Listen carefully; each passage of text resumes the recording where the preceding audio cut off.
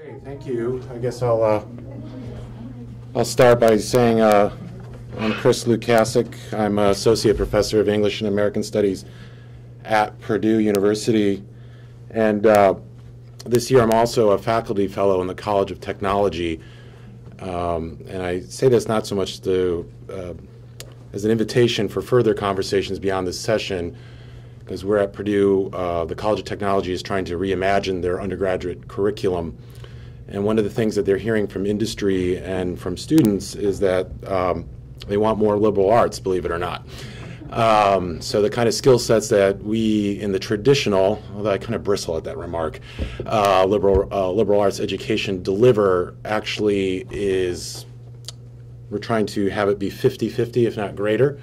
And the uh, new undergraduate curriculum we're designing uh, for an initial cohort of about 50 freshmen in, uh, we hope, fall of 2014.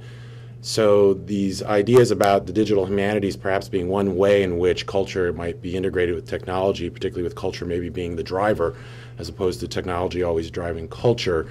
Uh, I, I um, come track me down. I'd like to have a conversation about it. If your institution's already doing this, or they have um, programs or centers that are doing this, I'm very interested in learning about them. Um, what I'm going to talk about today is my uh, experiences using digital periodical databases uh, while conducting research for my new book project, The Image in the Text, um, Intermediality Illustration in 19th Century American Literature. Uh, and this project examines the explosive growth of illustration within American literary culture from 1825 to 1875. Um, but the more I think about it, the project is really about the relationship between culture and technology during the 19th century, or at least one particular form of it. And what I think the book is going to try to do, if it can pull it off, is resist some of the techno determinism that uh, sort of shapes that relationship. So, what I'm going to try to prove in the book is the ways in which culture actually facilitates the introduction of new uh, technologies, preventing some, restricting others, facilitating um, different kinds of image technologies over the course of the 19th century. Um, but I won't be talking about that today. Uh, I'll be just talking about very briefly sort of methodological problems I've been running into uh, when working with these digital databases. And uh, one of the questions that uh, I've been thinking about is whether there might be a textual bias, uh, or perhaps, uh, to put it another way, and perhaps more precisely, a certain optical conception of the image that shapes how literary studies conceives of images and their relationships to new media and media studies. And if this is true, if you're buying what I'm selling there, um, to what extent does this conception actually inform our notions of the digital archive? Um, but given the roundtable format topic and as well as my uh, project's nascent state, I'll refrain from speaking directly about my project's argument and shape, although I'd be happy to elaborate on those points later. Instead, I'm going to try to identify some of the challenges that the digital periodical archive presents for the historian of illustration. And I'm going to limit my remarks to the two digital resources I know best the American Periodical Series, or APS, and the Catalog of American Engravings at the American Antiquarian Society, or CAPE. The APS contains over 1,200 American magazines and journals that began publishing between 1740 and 1900 while the Cape catalogs over 1,600 engravings that were issued as separate publications or as illustrations in books and periodicals in America from the early 18th century to the year 1820. For the sake of soliciting conversation, I've organized my remarks uh, around two broad and basic sets of questions which arose for me while conducting my research. These questions are by no means exclusive to the domain of periodical illustration but their answers quickly become problematic when working with digital periodical databases. These are what counts as an illustration and what does the illustration illustrate? This second question I find particularly provocative because it foregrounds two issues that inform any approach to working with illustration. First, the question of what images say and what they can say. And second, how do we know what images say? What does, for example, this illustration of Amelia say? I find these questions fascinating for illustration since what the image says and can say often depends upon, and is uh, frequently reduced to, the words that accompany it. Yet rather than restrict the image to a mere visualization of those words to the left, we should ask what does the media combination of image and text show and what does it hide? This is an intermedial approach to the image text relationship, which is going to be sort of the main method of my book. Um, but again, I, I digress. Um, my first question what counts as an illustration? Uh, this immediately emerges when you use digital periodical databases. Do diagrams such as these count? Do printer's emblems, billheads, book plates, maps, or plans? I've found wide variations from database to database. The APS includes most of these as illustrations, whereas the CAPE, off, uh, excuse me, the CAPE excludes them from the start. If you run a document type search, um, in the APS for illustration, image slash photograph, and editorial cartoon for the years running from 1740 to 1820, here's what you'll find. The blue line represents the total number of hits, and you'll notice a dramatic increase in the first two decades of the 19th century. Yet, if you dig into those numbers and actually look at and verify the images represented by the APS data, you discover that these two images count as matches for the document type illustration. In fact, all 12 APS hits for illustration in the year 1802 turn out to be musical scores, which presents another kind of question that is, is a musical score an illustration of a song, perhaps? Um, but again, I, digress. Um, I found that the problem of false matches is significant for the APS. When you remove musical scores and other false matches from the same APS document type search for illustration, image slash photograph, and editorial cartoon, this is what you find. The red line represents the true total number of hits that are actually illustrations. The actual number, however, becomes somewhat larger when working with the CAPE catalog.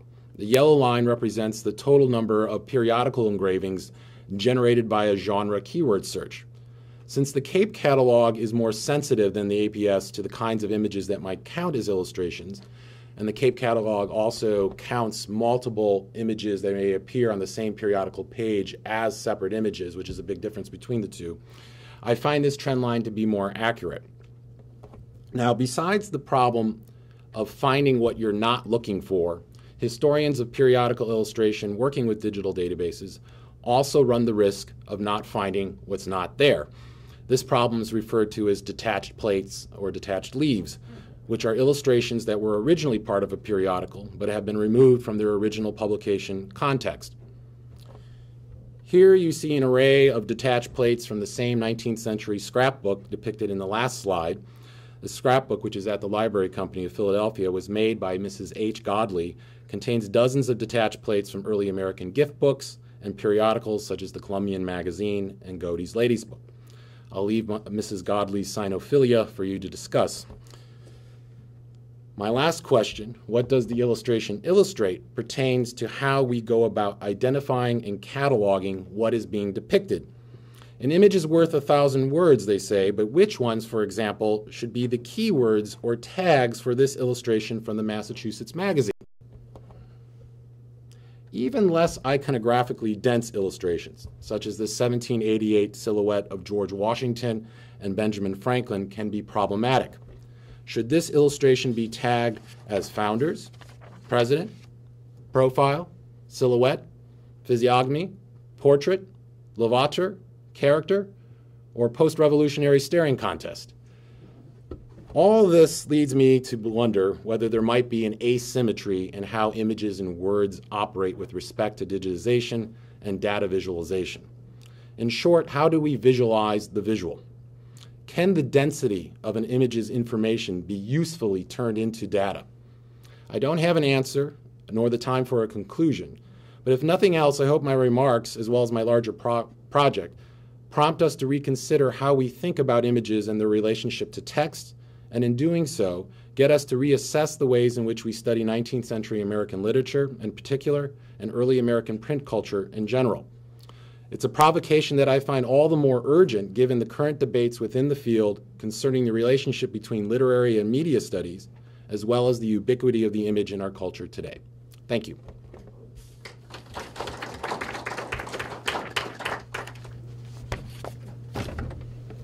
Um, so I'm uh, Christa Vogelius, um, and I'm a CLIR postdoc at the University of Alabama.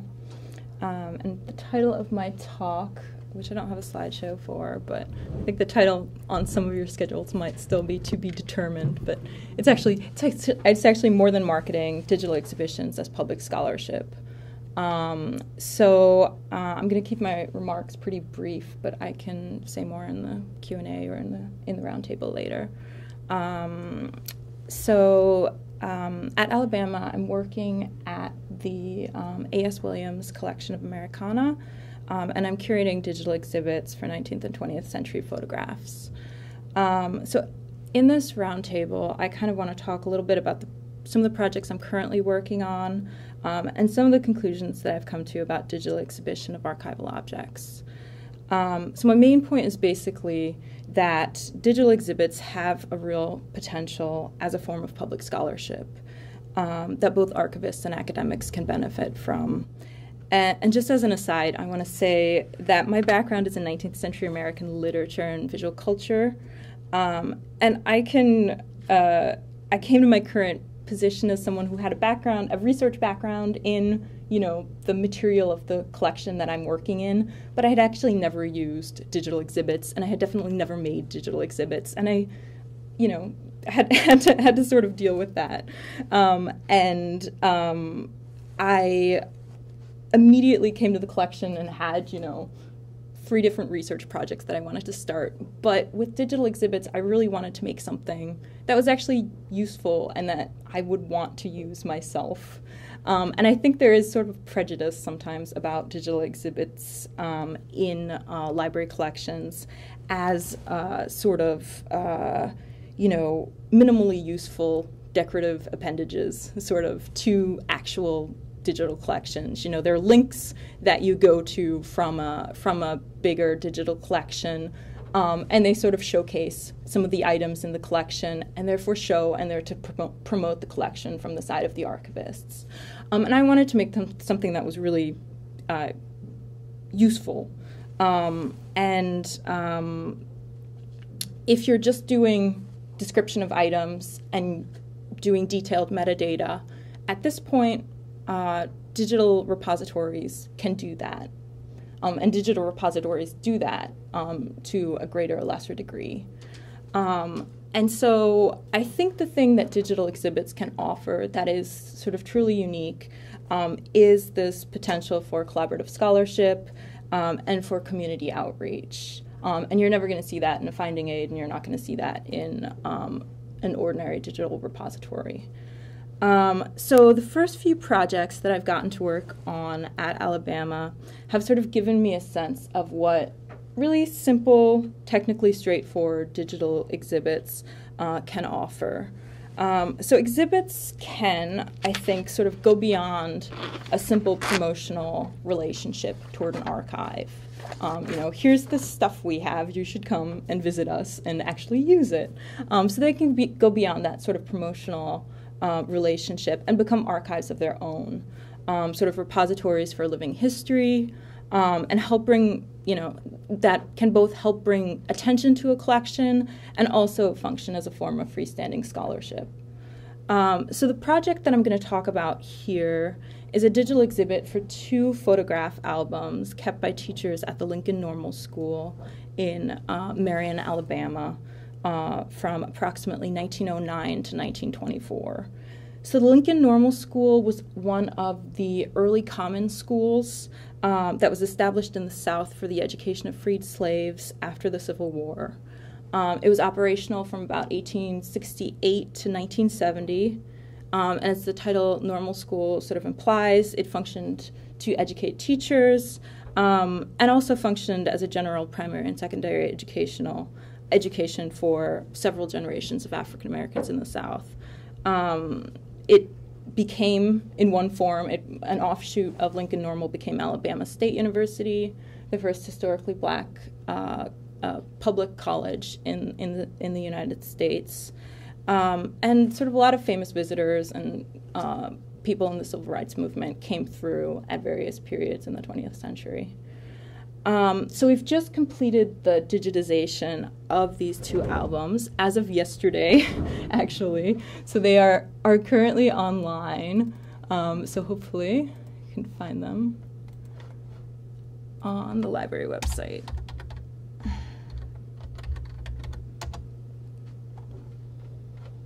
Uh, digital.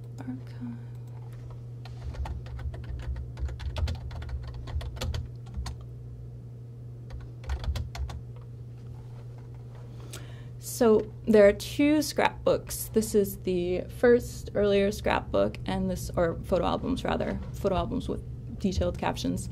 Uh, and this is the second one. Um, they are, let's see, I can look at some of the images. I think the second one is, the second one is kind of the more interesting one, and I'll just go through some pictures kind of randomly. Um, they are, there's some teachers from the school. So, par- so part of the reason that we're excited about this as a candidate for a digital exhibit is because there are a lot of images, formal pictures like this one of teachers at the school that we don't have really records of other places. Also, pictures of the buildings, which were all demolished in 1970 under sort of uh, controversial circumstances. Um, so we have visual documentation of that. Um, we have very informal pictures of students and student performances um, that, as far as I can tell, you don't see a lot of other places. Um, and um, uh,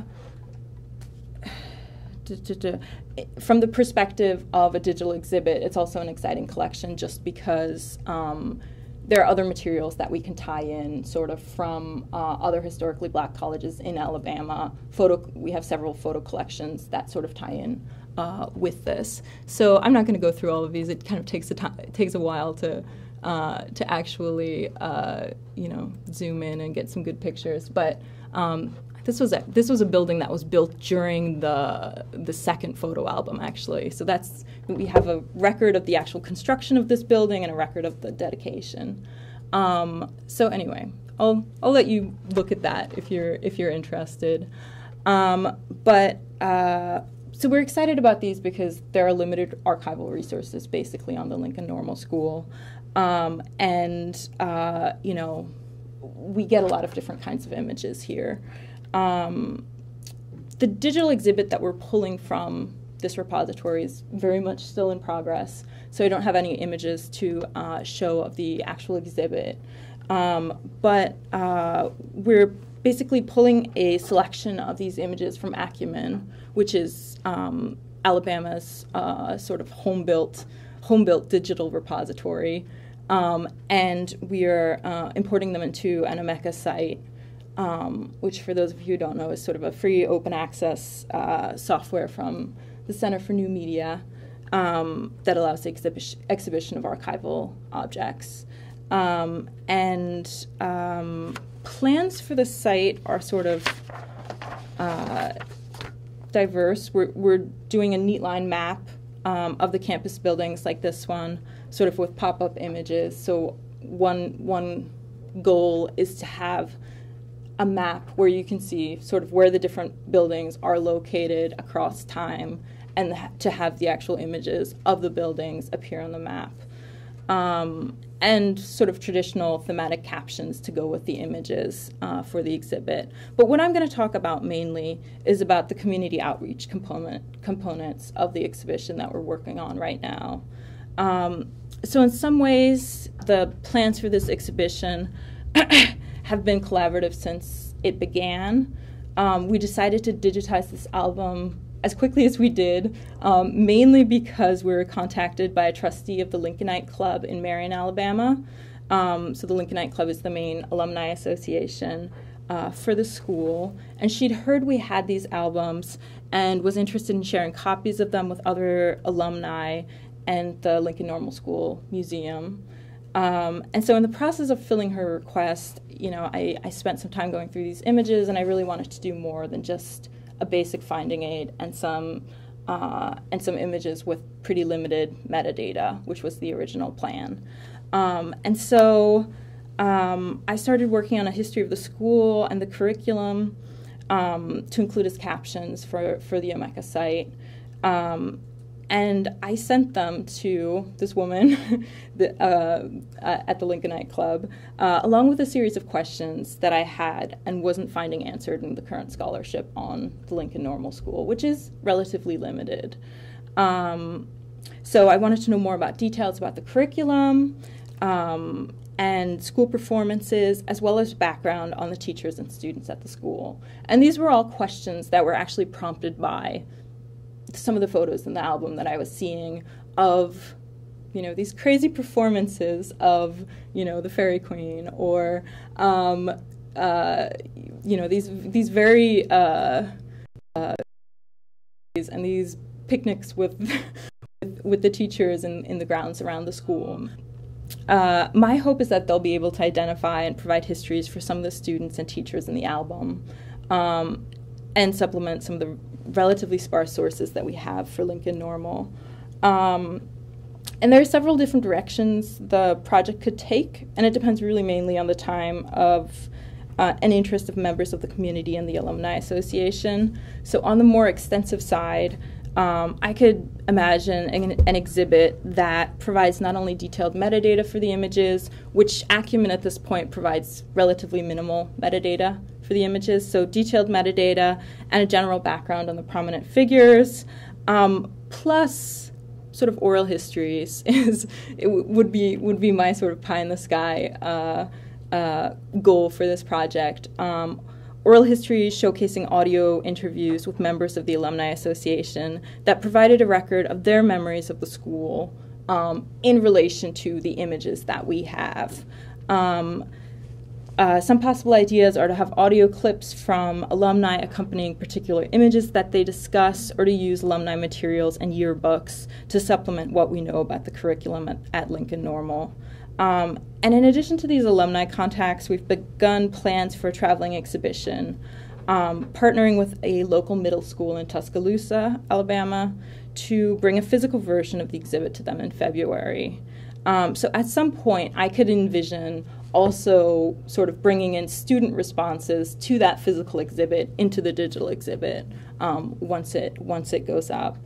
Um, uh, and this is actually, like I said, it's very much in progress. But this is also sort of what I found find exciting about even fairly simple. Uh, Omeka sites is it's sort of an organ it can become an organic archive that um, can be launched in a pretty minimal manner and sort of grows over time depending on responses from the community and responses from uh, other people who are invested in the project for whatever reason.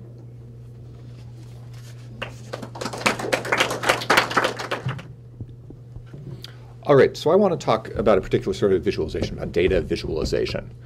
And I have sort of two main points to make, which I'll try not to make it too much length. Um, one is to ask the question of what data visualization is doing in humanities departments and digital humanities right now. Uh, and I want to present a sort of observation about that, which is that humanists don't like to display data in Cartesian space. Uh, I'll explain what I mean by that, but also I want to say they have good reasons for this, and I think they should get over those good reasons for this and try to plot things more in a world that is really actually data. And then, as evidence for that, I want to talk a little bit about some work that I've done with others putting textual metadata on very large archives on scales of hundreds of thousands or millions of texts into a form that they can be visualized dynamically in all sorts of ways.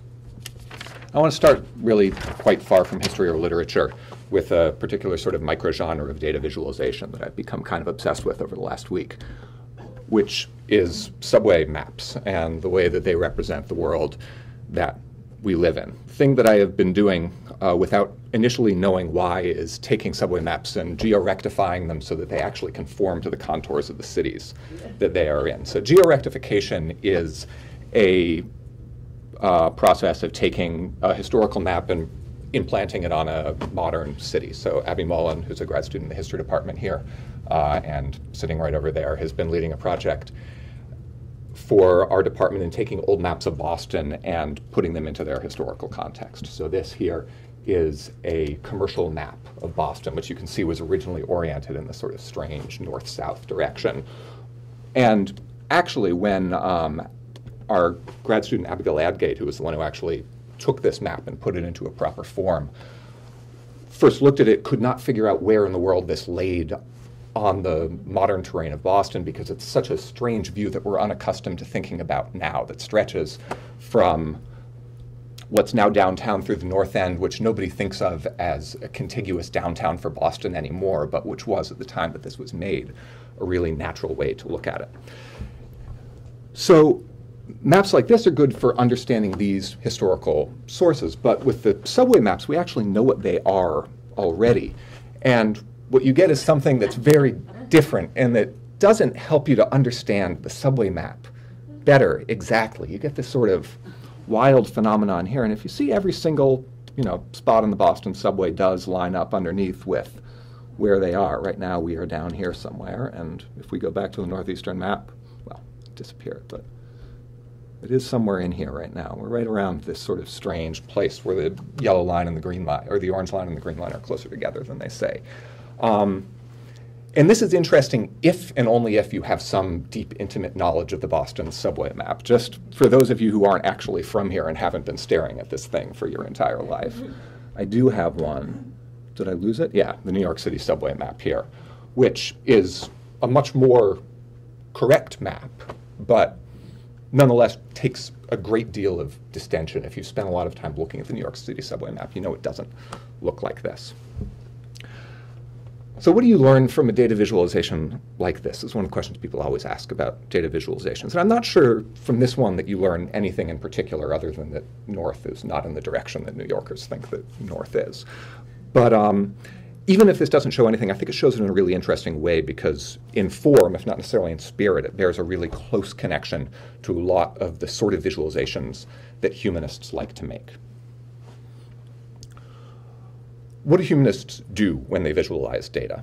Um, so most statistical graphics live in this really sort of artificially constructed Cartesian space where x represents one thing or y represents one thing. And I'm using Cartesian sort of very broadly here, including you know, logarithmic plots, polar plots, where it's r and theta instead of x and y. But the idea is that you take the real world and you map it onto these artificial quantities.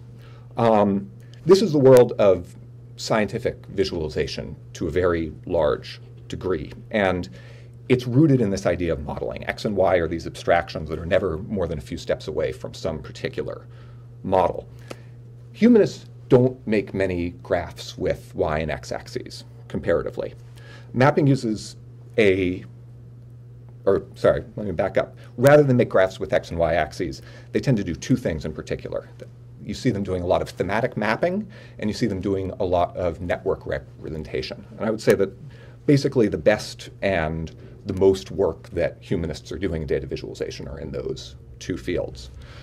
And you might argue that mapping is a sort of Cartesian space, but I actually think that although mathematically it is, socially it is not. Maps, latitude and longitude are not simply some abstract x and y coordinates that people work with.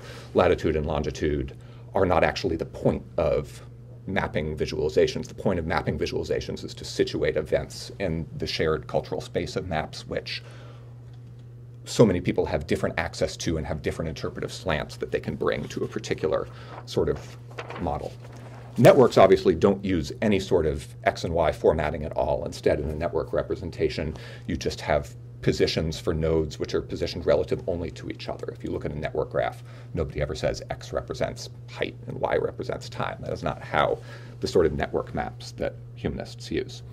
And I won't take the time to prove this, but this is essentially true. If you look at the work done in digital humanities journals in the last three months, in Digital Humanities Quarterly, in uh, the DH Now website, you do get predominantly those two sorts of representations, a few bar graphs, but the bar graphs are almost never used for the purposes of uh, visual argumentation. They're usually used actually in sort of sort of you know natty professional development talk about where how long it takes journal to get published in different fields and that sort of stuff, which isn't related to actual humanistic research in any way.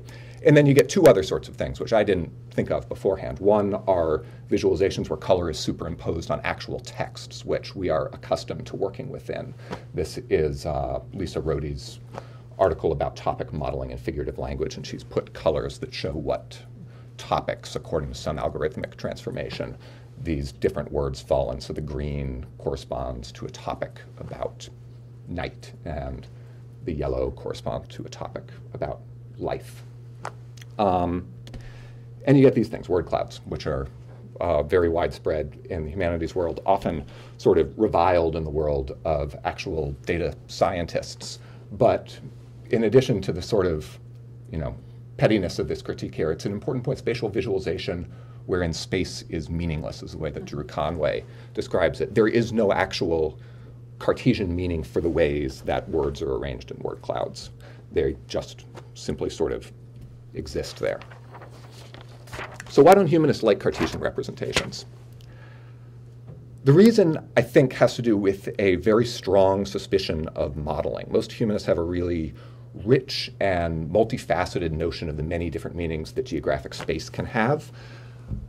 Um, and when they look at networks, the individual nodes tend to be people or places or texts or things which in themselves are really meaningful and admit of a whole wide variety and possibility of interpretations just like the sort of text that we look at. I think this, in some ways, is sort of the archetypal humanities data visualization to do as little as possible on top of the existing framework of the text and simply to superimpose your data on a scale on top of it.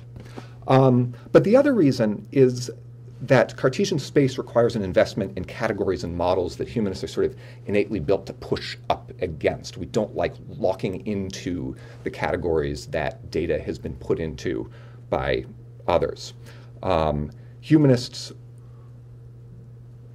often when they make data visualizations are strongly driven to unsettle the categories themselves. They like to try to represent um,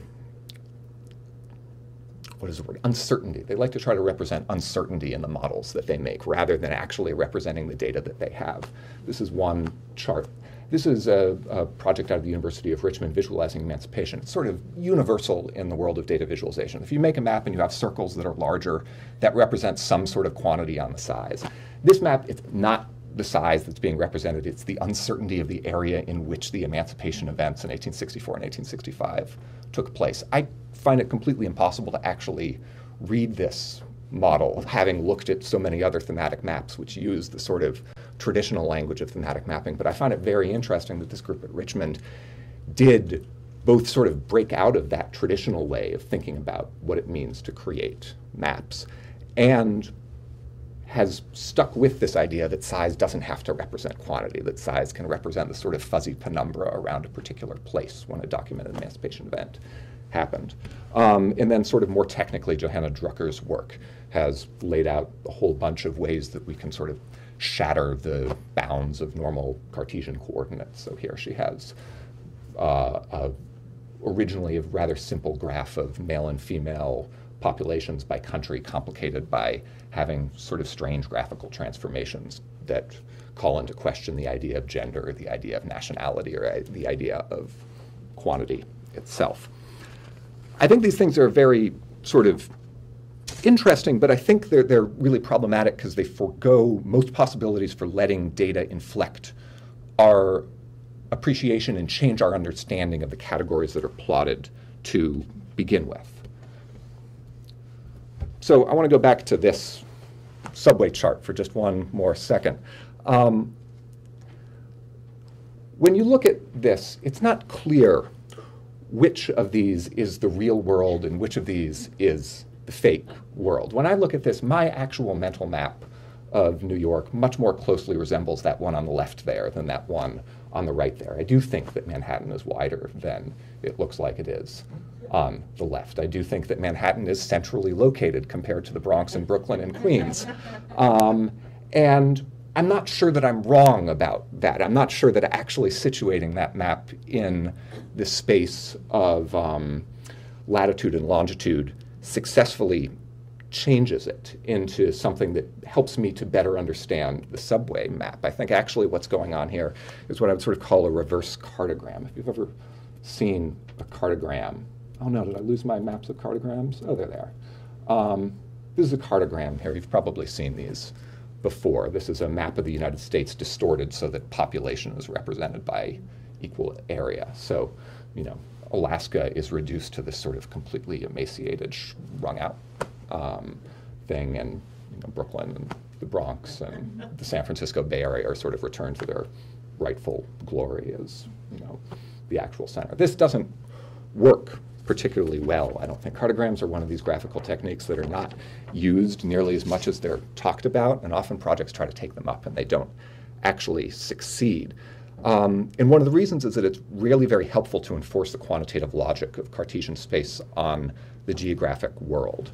Uh, our representation of space is really sort of primary, and this doesn't map onto something that's realer, except in this one case of these subway diagrams where this is the actual physical representation of the space.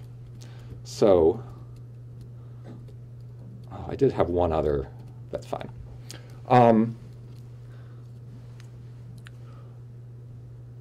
so what I think that you can learn from looking at something like this is that this is a map which structures our particular interpretation of the world, and pushing it into Cartesian space means that you take away from latitude and longitude the sort of naturalism and the shared sense of location and possibility that we usually apply to maps, and change it into something that actually more closely resembles x and y Cartesian coordinates.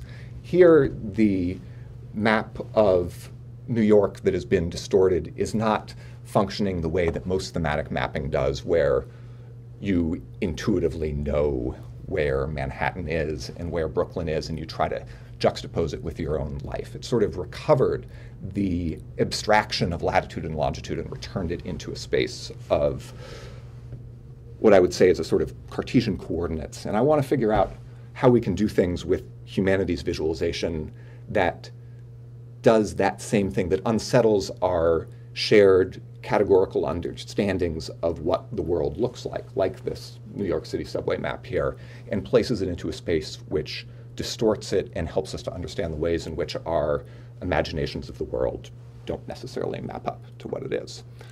Um, and I won't talk particularly long about this project Bookworm that I've been associated with. Uh, but the idea behind it is that it is a set of databases that allow you to take extraordinarily large collections of text and get access to their metadata in various different forms. Um, when I looked through those, those charts through the last issues, there were a few line graphs in there. That was one of the fuses of Cartesian space. They were almost always this product called uh, Google Ngrams, which you are probably familiar with, um, or if you're not, is worth sort of playing around with, which is a representation of all the books in Google's libraries situated in, um, and the word counts of different words over time, how often they take place. This uh, bookworm project is something that I helped develop with, the, um, with a couple of scientists at Harvard and uh, a number of other people whose names I should actually put up here. I have them back here um, Neva Cherniavsky, Martin Camacho, Billy Janitsch, uh, and Erez Lieberman Aiden and J.B. Michel, who are the two who worked with Google on Google Ngrams. And the idea behind this is that you can get access to arbitrary sorts of metadata that isn't just year and words. You can take any text and break it down into the library metadata catalogs that librarians have been collecting for years.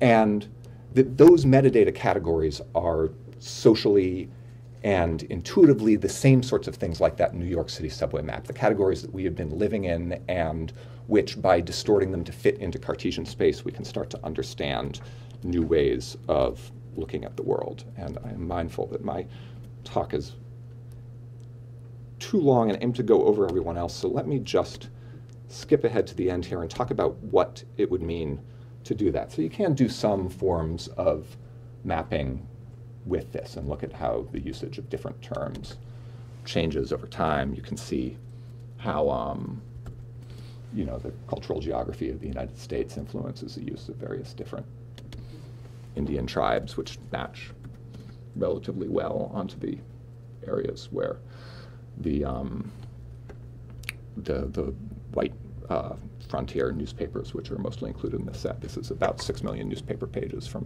1830 to 1922, uh, where those publications take place. Um, but you can also do things like reduce, take what we think of as a linear quantity of time and break it up and place it in Cartesian space. So here, the linear progression of the years is at the top, and then the cyclical progression of the months is on the y-axis. So this is the usage of the word bicycle in newspapers. And newspapers are important in large part because they're advertising media. And what you can see when you look at a chart like this is not just that there was a tremendous boom of bicycle production in 1895, 1896, and 1897, which is um, something that we largely know already, but you can also see the way that that inflected by seasonal patterns. That it doesn't actually start until June or July in 1895, where, although obviously nobody is buying bicycles in the winter, it starts considerably earlier, April, May in 96 and 97 before it fades out, and that it doesn't have any sort of semblance of a return in early 1898. The bicycle boom is well over in Christmas time of 1898, essentially. And this is the sort of insight which is very difficult to get out of a traditional search engine, but which is really important to figure out how to get out of these really large textual databases, which are coming online right now.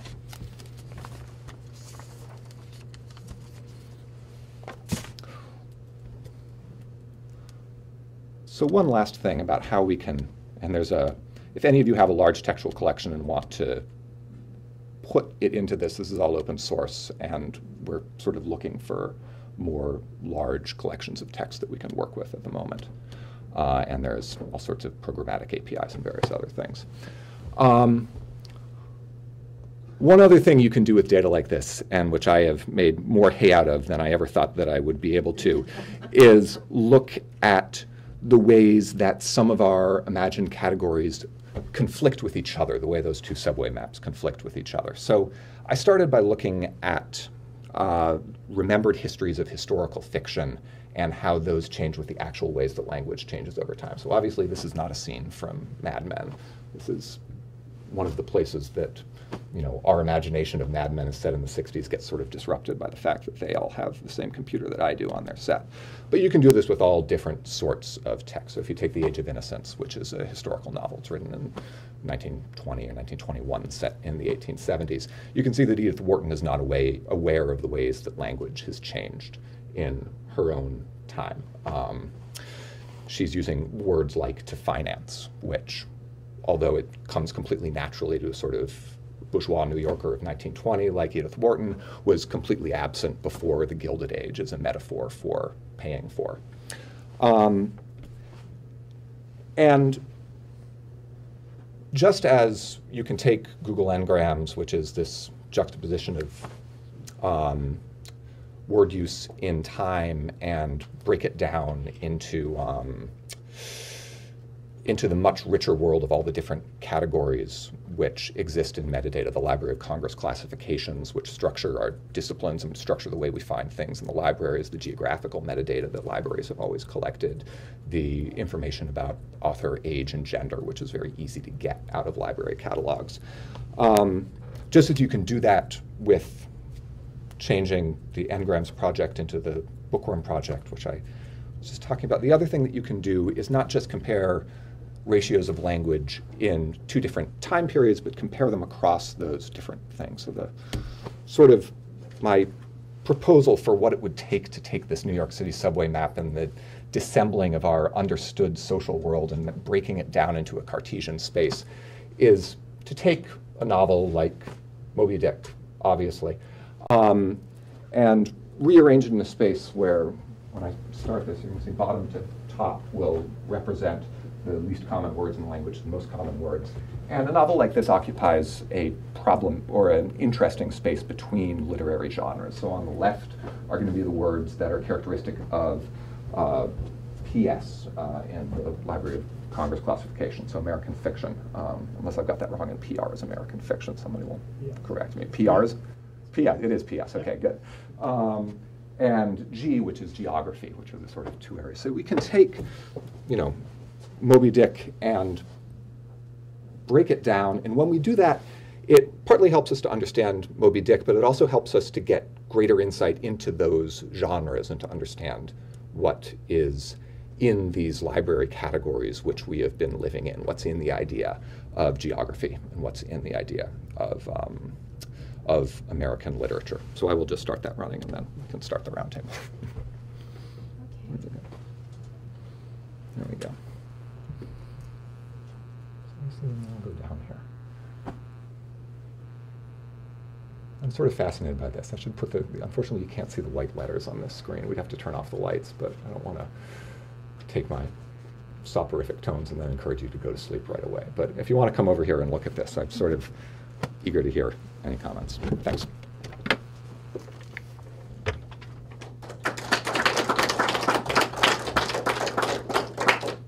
All right, so before we begin taking questions and answers, do you guys want to respond to each other at all? Anything that interests you?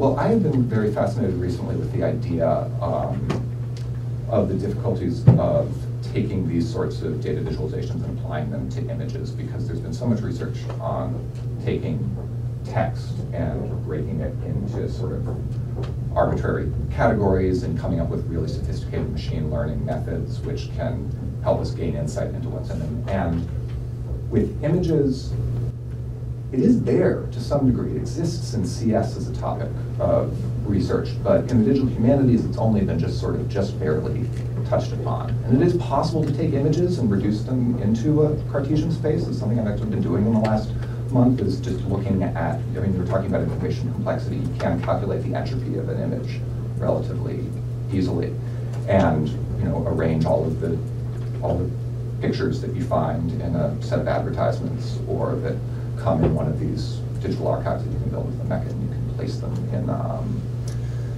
you can order them by how complicated they are. But um, I wonder if, if there's actually anything to be gained out of that. I haven't, I haven't yet been able to situate images in Cartesian space. I only know one person who really does that uh, frequently, which is Lev Manovich at um, NYU. He's at NYU, is that right? Um, and I wonder if there's possibility there or if that's sort of a, an area that we are still waiting for somebody to come along.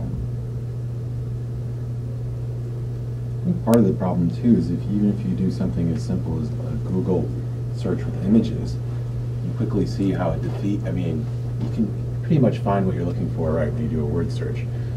But I don't know. Again, this is the technical side, but how they arrive at the algorithms that are going to call up the images, right? The coding that which right or however that works. If you if it's very specific, like I think in the paper that was uh, at the last session about Mary Surratt, uh, it's you know it's discrete, but a lot of historical images like the ones you see are uh, you know can vary, and also I think those tags will vary over time. So you know you could one image might mean something at a particular mo historical moment, and then maybe 20 years from now or 50 years ago, we'd have a different set of right keywords that we might attach to that as having priority.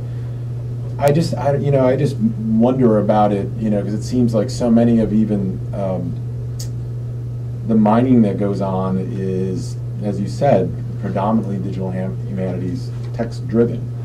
Um, but I, you know, I don't know. Have any more to say about that. Well, I was just going to say, in relation to your topic in particular, I was thinking about, well, you're not going to do your own, you're never going to be in a situation where you can do your own metadata for these images, and you're depending on all these other databases and catalogs.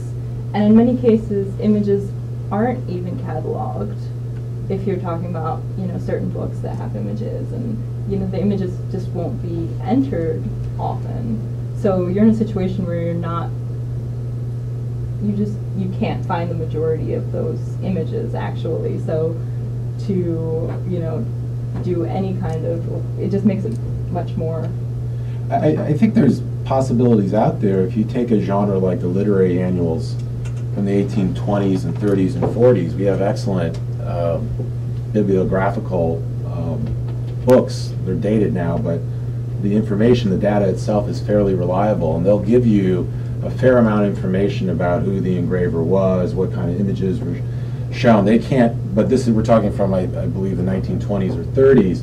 There's no physical reproduction of the image itself, but now that we, with technology, it's fairly, would be fairly easy to do because each of those annuals typically has maybe a dozen or less uh, engraved images attached to it. So it would be, again, I think something that would open up um, a larger sense. I, I point to the literary annuals because that's happening at the moment, you know, at least in the American context, when literature is sort of emerging, uh, particularly in its nationalist sense.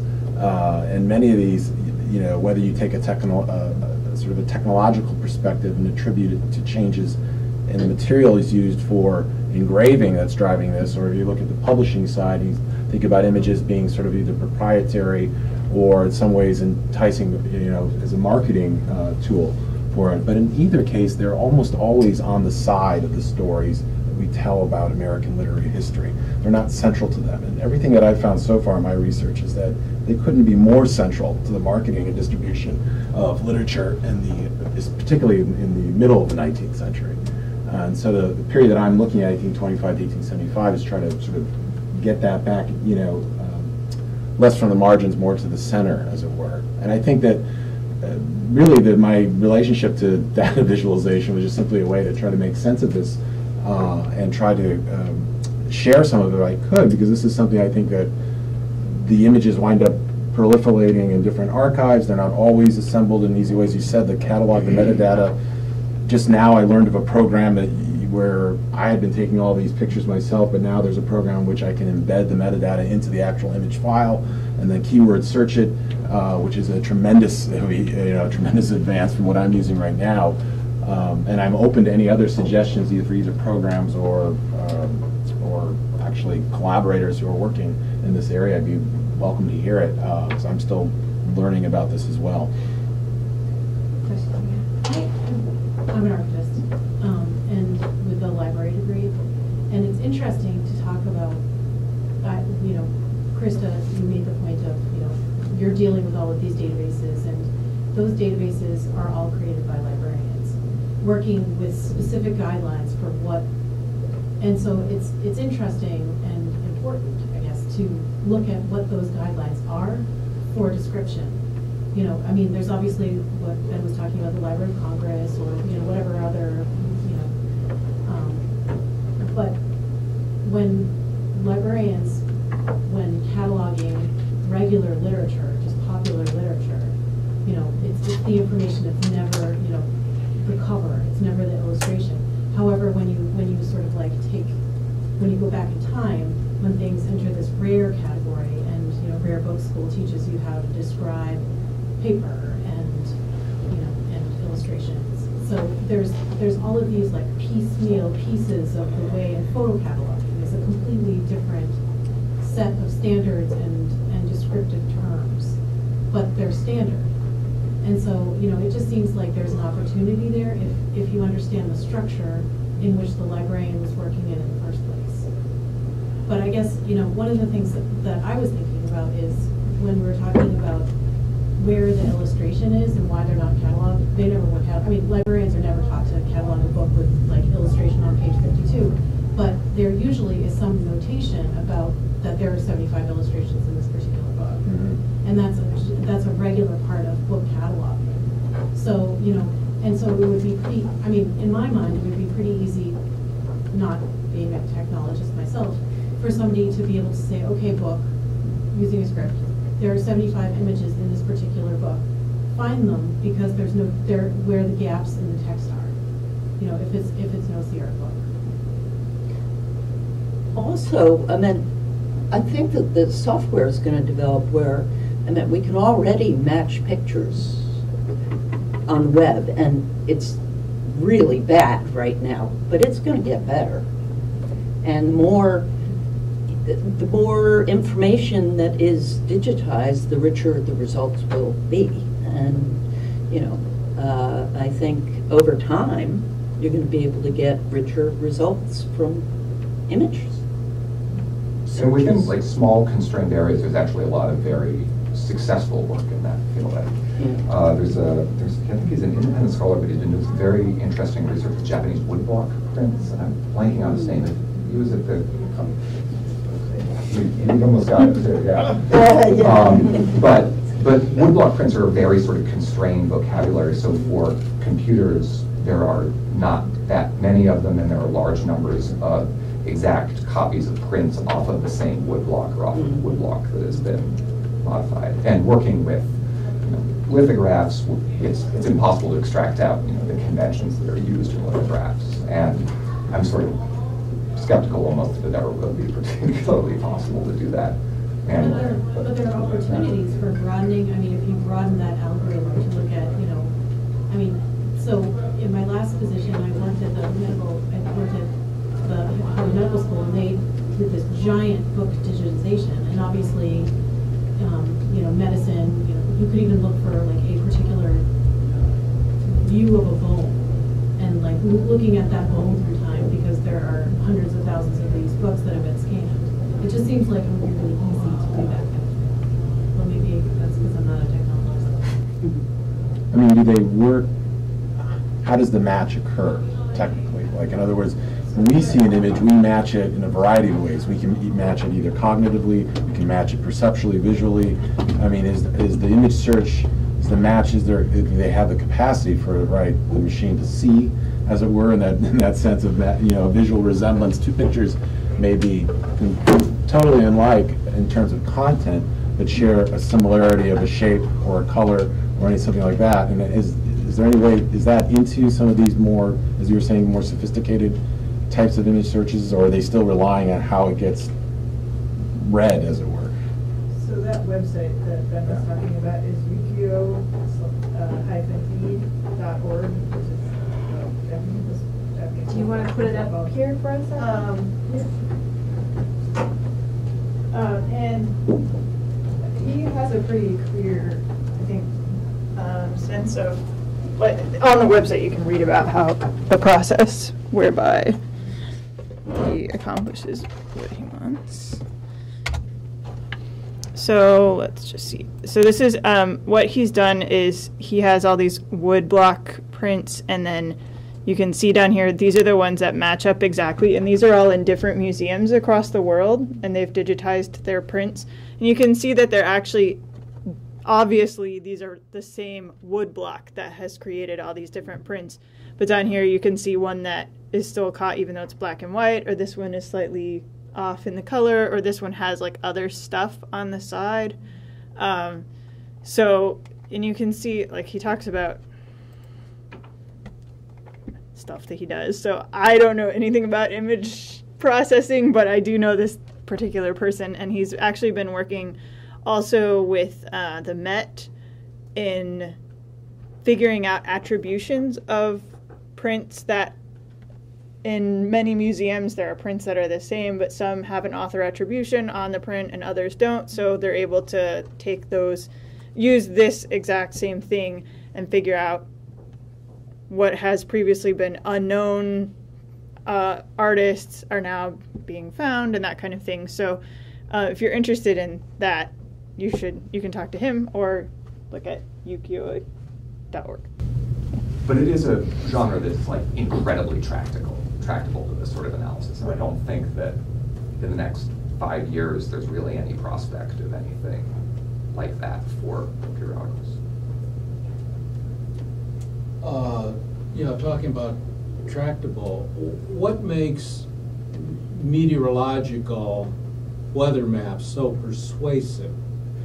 If there's anything that data type integration and uh, reflection in humanist terms, it's the weather map, and I would offer for at least two reasons. One is it's animated retrospectively, and therefore it inbuilds its own prospective information. And the other is that the searcher has already done the search. The searcher is interested in what's going to happen where I'm located next.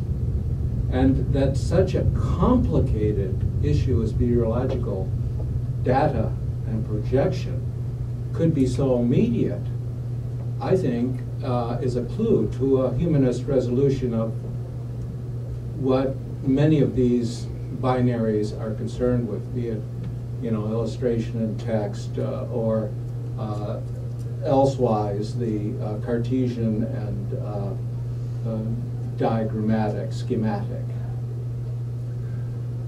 Although one of the things that's so persuasive about uh, weather maps when is that they are in such an immediately understandable physical form, and we can take our sort of intuitive knowledge of physics to, to just continue the motion, right? Like that's what you see. You see this thunder cell coming, and you know where it's going to go next, Yeah. regardless of the actual predictions. That, right? that, that's an, uh, that's an issue, but I didn't see you factor in design uh, in, into either of the projections, though it was there. For example, the spectral design where you have a gradation of cool and warm color or other types of uh, onlays. And so the design factor is ninety percent of sub- subway maps.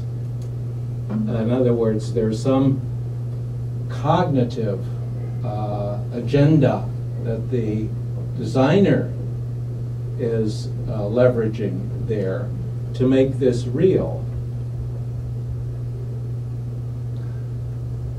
Yeah, I think that I think that, and this is one of the things that's that's interesting about the ways that we have to figure out how to work with um, with data that comes in. I mean, I am not particularly pleased with the some of the design features in like that last thing that I showed today because like you know, we know from well, but we know from um, you know s- statistical studies like you shouldn't. I had just the HTML color red at the end, and you should never put like those raw primary HTML colors. You always want to pull out like an HSV space, and there are all these sort of strange knowledges about Uh-huh. perception as it's embedded in the human yeah, yeah, perceptual yeah. system, which when we do data visualization, we have to relearn from the sort of older ways of interacting with the Mhm. world, and it adds, in addition to the sort of, you know, difficult negotiations between scientific forms of visualization and humanistic forms of visualization, a whole aesthetic layer on top of it that, that makes things Yeah, cognitive Difficult to do, uh, sciences, particularly uh, cognitive uh, reading comprehension, uh, what the mechanisms and neurologies are, you know, are really a little bit missing in some of this, though you were bring, you were bringing that out. I think it's interesting too to think about, I I don't know if you've been mulling this over, one of the things I've noticed is that, and this might be one of that split between the humanists that you were talking about or whether, is that the sciences are getting increasingly more comfortable visualizing their data, uh, knowledge itself. So it's not something, you, you see it, you don't necessarily read it or even the axes part of it. It's just some, this is a, right, a modeling of it. It's something that's taken in all, there's an all-at-onceness almost about the knowledge itself, which is something that might strike humanists as being, you know, who tend to, it's not just the uncertainty, but the argument, the presentation of the evidence, all that, right, that leads up to it, the reading part of it perhaps, in terms of how we encounter the knowledge, you know, um, I mean, I think it's, it's stunning too, to think about when I look at image, if you look at, you know, the field of visual studies and you talk about, you think about images writ large, 80, 70 to 80% of the stuff published on images is published in science journals. It's not published in humanities side stuff. It's all the work's going on over there. When you, if you think about it in just broad, in broad terms too, uh, this includes just all sorts of fields. Um, but I, I wonder if that's part of the equation too, what you're noticing about the reluctance, right, to treat knowledge itself, right, as something to be seen. Well, and it's partly that scientists are willing to accept data as knowledge. They don't, they don't feel the need to interpose enormous layers of cultural mediation between data and knowledge, and visualizing their data and visualizing their knowledge end up being substantially the same thing a lot of the time. And they do worry about visualizing uncertainty as well, but they tend to have quantifiable uncertainty, where we tend to have unquanti- unquantifiable uncertainty, which is not something that lends itself to visualization in any in any persuasive way that Well, I humanists are supposed to own ambiguity. In other words, uh, that's something the scientists work, work against, the, where, where you're moving into the 20s. Uh, a very humanist phenomena that I, I don't hear mentioned is that uh, photo illustration in mass media, connected with its caption, enabled the emergence of a persona that was halfway between the text and the picture that is really quite exceptional. For example, on the left of the mayor is uh, the current candidate for the governor. Uh, and suddenly you're given a persona, which is really a, a humanist invention. Neither of them is one or the other. Uh, but it's, there's an ambiguity there as to how they might relate, and that plays out as a, uh, a, a science paradigm, uh, the, the, ambiguity uh, and the actual merge across two media, which I don't think you really cannot discover well in the 19th century because there were no photo persona there. There's the silhouette of Washington. But uh, that is, I would offer, is a, is a trace or evidence that is very different from a photo, where you can embed the two. So the ambiguity and the, uh, the sweep of knowledge, I think, are the two keys for bridging between uh, humanist management of uh, these binaries. Any comment in the back, or do you want to respond I first? was just, not to that exactly, but just the idea of the scientists being more comfortable with data than humanists are. I think there's a difference just in the sense that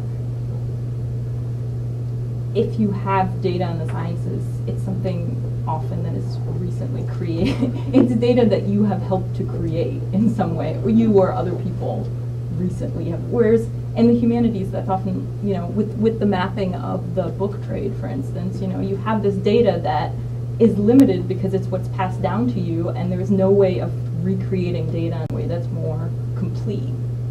You know, there are gaps that you can't do anything with.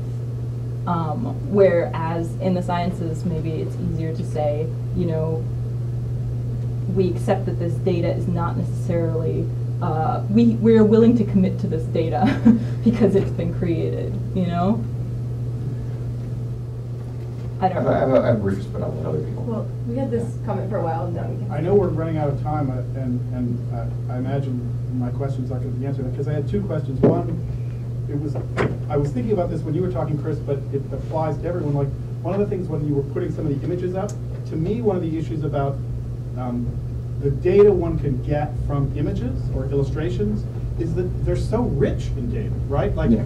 I mean, the fact that, as you were saying earlier, like in a photograph, but it's true of paintings too, that one character is next to another character is part of the data, part of your interaction. Like, the, the data is so overwhelming with that. Mm. I don't know how you can extract all that in a way that's comparable to text, which I know is also data filled. What's a figure? Is this a sarcastic remark? Is it that, that also has a whole right. set of layers of data, but just to me, right? Nelson, yeah, Nelson Goodman talks about that in the oldie yeah. but goodie book, right? When he the, uh, the languages of art, when he talks about analog versus digital systems, oh. and he compares like a EK, uh, EKG right graph, black and white, with a Hokusai right drawing, both color black and white images, but it's every difference makes a difference in the analog system, and images tend to can can be that way.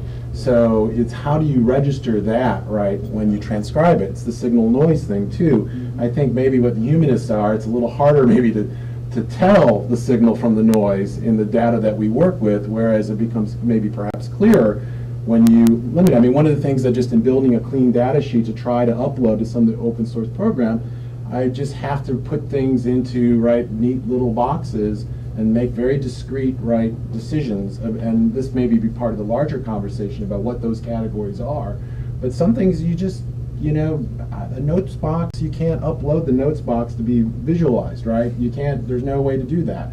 It, you know, unless I'm missing, you know, uh, a recent development or something, but, you know, there's only so much of that that can be, like, when you, when you're talking a large set of data, right? You need something pretty, you know, pretty clean where everything matches up. At least this is what my collaborators at Purdue have been telling me if I want to sort of upload this stuff. But I think it does get to that that problem of right the density of information that you're that an image may possess that doesn't necessarily work that the, the representation doesn't work semiotically. You know what I'm saying? The, the generation of the meaning isn't always primarily semiotic. There isn't a, a, a representational part of it. It can be contingency, adjacency, it can be right depth, forward. All those things add to what the meaning of the image is, in addition to just right what it represents. Yeah, yeah. I mean, I could sort of, just to briefly respond to both of the points. I think that there are ways that, although our images are sort of immensely rich and can be read in all sorts of different ways, it is possible to extract some of those individual Yeah. readings. And this is something that we can learn how to do with them and that our technologies enable us to do. I mean, just extremely briefly, in my dissertation, one of the things I talked about uh, was the rise of arrows as a vernacular of advertising, particularly between 1908 and 1913. There's just this enormous proliferation of arrows in American uh, periodical advertisements. And Coca-Cola is using them, everybody's using them all over the place, and the advertising industry goes nuts because they're seeing arrows everywhere. And that is a problem which is actually completely tractable by contemporary image extraction tools. There's a lot of literature in the sciences about arrows in particular and isolating and removing them. And had I had more time, I could have done that, but it was just in that area where like, it would have been like a three-day project for something that we don't do. But those are the sorts of things that should be two-hour projects in a year, two years maybe. So the break is technically started. If you want to continue this conversation, we can. Um, but in 15 minutes, we're going to be moving to the ballroom, which is just in the student center. If you go outside and turn to the right and go upstairs, sort of Taco Bell and Popeyes downstairs and the ballroom upstairs. And we have monitors set up so that you guys can um, demonstrate and display some of your projects. But um, do we have any remaining questions? I just wanted to make a very quick comment. Going back to the issue of density of images, I think a lot of the meaning of the image is actually outside of the image, and I think this is uh, part of the difficulty when uh, you're trying to use to sort of visualize or visualize the visual. Um, because when we catalog things, we remove the context, the material context, and I think we spend a lot of time talking about you know, the marginalia and the context of, uh, in which the, those images circulate, which embed the images with meaning. And then, not, I'm not sure if it's a provocation, but on the other hand, we were, we were talking sort of about the humanities and, and scientists as sort of uh, being sort of on opposite ends. And I would say that in the humanities and literary studies, actually we have a quite a long history of cataloging genres. So I think, in a sense, we have that prehistory that allows us to deal with metadata. We have the lyric, we have sonnets, and so we are very comfortable, in a sense, with these cataloging tools. And I think, again, because visuals circulated very differently, they're performed very differently, um, some of that is really hard to, to, to, be, to be recreated through these uh, machine learning um, tools. Any last comments or questions? All right, well, thank you. Thank you.